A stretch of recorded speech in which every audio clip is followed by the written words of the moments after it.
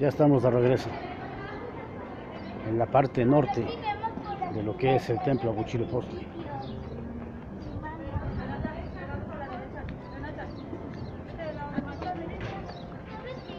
Perdón que me apure, pero vienen persiguiéndome unos Boy Scouts y no me van a dejar hablar. Esta es la parte frontal del Templo de las Águilas. Escalinatas. Y una vez más, las canaletas de las que le hablaba, por donde salía el agua.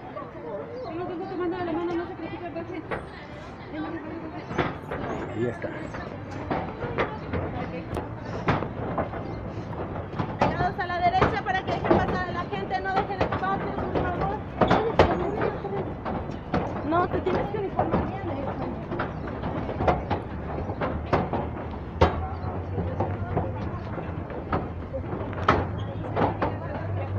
Perdón. a lo que necesitas eso, y pues ya vamos. Este es, parecido, este es conocido como el patio norte. Tiene varias superposiciones. Ya que les decía que cada Tlatoani incrementaba la altura y el volumen del templo Huitzilopochtli. Pueden ver aquí abajo un piso, luego otro, luego otro.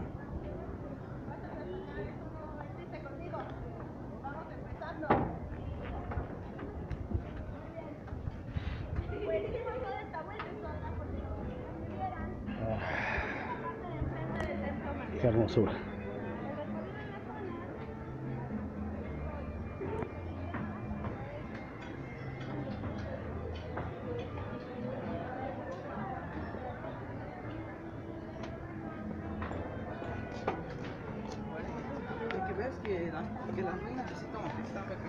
Bueno, sigamos adelante. Bueno, hacerles notar que tenían gran respeto.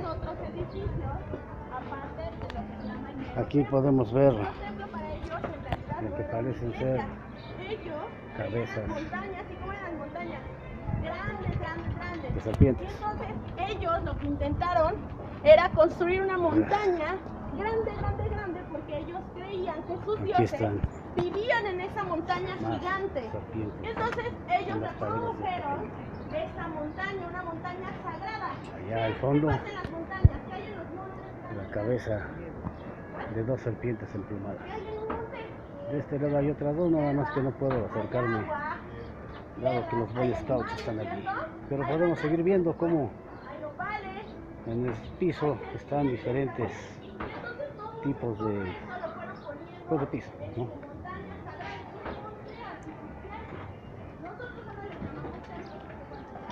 Y en las paredes de, este, de esta parte del templo, pues podemos ver más serpientes. Arriba parece que en negro, ahí enfrente, son, me parece, ranas. No estoy muy seguro, están muy deterioradas y están un poco lejos.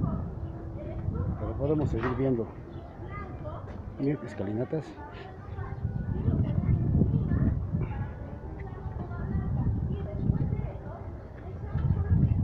más del templo mayor. En un momento vamos a estar adentro de esa parte de lo que es el templo de Huitzilopochtli.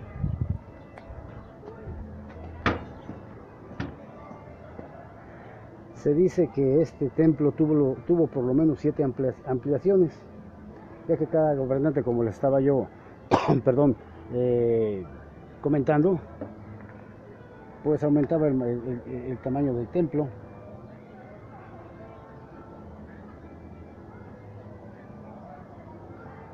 Es increíble.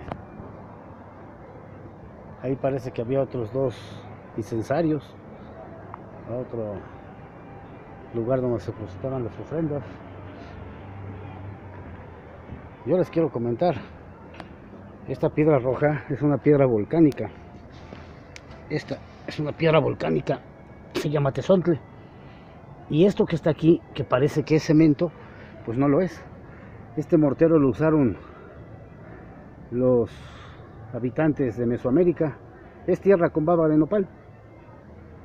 Y aquí están al parecer más cabezas de serpiente, pero me parece están ya muy, muy deterioradas. Entonces, cada que llegaba un nuevo Tlatoani, digamos que estaba en Moctezuma Ilhuicamina muere y después llega Istrizóchitl y sobre el templo mayor, lo que había del templo mayor, pues él construye más, más alto y más ancho. Ahora vamos a llegar a una parte interesante, esta es la parte más eh, sagrada del templo Huichilopochtli. Esto está dividido en dos, dos partes. Esta parte de enfrente, que pueden ver, es el altar o el, adoratorio a Tlaloc. En medio pueden ver a Chacmol. Eh, Tlaloc era la deidad de la lluvia, venerado por los mexicas y muchos pueblos mesoamericanos. Esta deidad se encargaba de traer lluvia, que hacía posible las cosechas, pero también podía traer tempestades. Adentro del adoratorio, pues debió estar la imagen de este Dios. Yo quiero que vean, está la pintura original todavía ahí, y esto por lo menos tiene pues 500 años.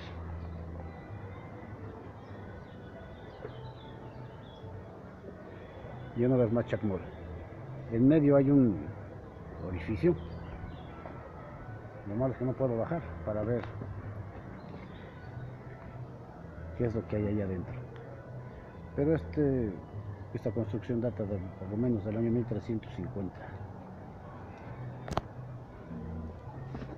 La otra mitad bueno, esta es la parte que les decía, dedicada a Tlaloc, la deidad de la lluvia. Y esta otra parte, que es parecida, está dedicada a Huitzilopochtli,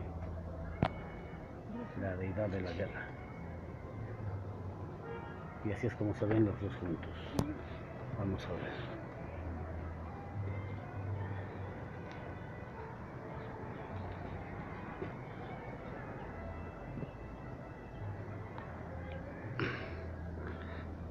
Entonces, esta es la segunda etapa donde les mencionaba